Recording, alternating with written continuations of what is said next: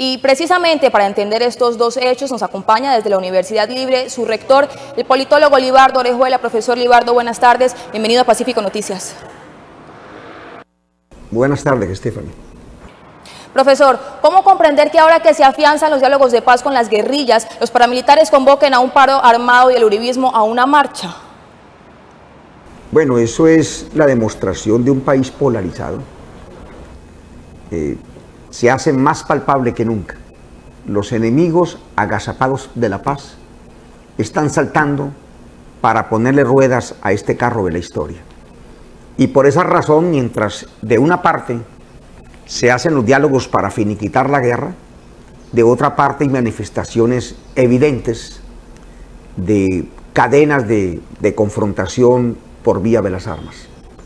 Y creo que en esto hay actores materiales, los que hacen el paro armado, hay autores intelectuales, los que ordenan el paro armado, pero también hay determinadores morales, los que con sus palabras, sus contextos y sus discursos eh, alimentan que el panorama de fin de la guerra tenga sombras, genere dudas, desconfianzas y sospechas, y por lo tanto ponga a vacilar la opinión de millones de colombianos. Profesor, ante estas circunstancias que usted nos explica, ¿qué deben hacer los colombianos y sobre todo el gobierno para que el proceso de paz no se vaya al traste? Mire, aquí hay que superar varias barreras. Una primera barrera importante es la ausencia de una real pedagogía y didáctica por el fin de la guerra y por la construcción de la paz. Eh, segundo, eh, yo diría organizar eventos tipo diplomados, seminarios, congresos, cumbres, que permitan ir generando gestores de paz.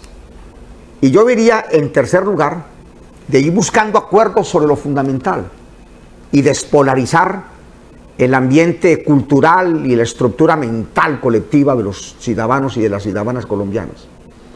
Y en cuarto lugar, poder evidenciar que de verdad el paso del fin de la guerra a la construcción de la paz en los posacuerdos va a significar la erradicación de viejas estructuras, de arcaicos moldes, y que el país se va a adentrar en reformas reales que toquen temas como el tema agrario, que toquen temas como la ampliación de la democracia política, que yo la siento muy congelada, que transformen el modelo económico y le permitan, y permitan la, forjación de una economía al servicio de las personas y no al revés. Si eso se va construyendo poco a poco y hay modificaciones en el lenguaje, y del lenguaje de guerra pasamos al lenguaje de la concordia, y de no soportarnos unos a otros pasamos a tolerarnos mutuamente, yo estoy convencido que vamos a poder superar estos escarceos. Incluso tengo la, la visión y tengo la percepción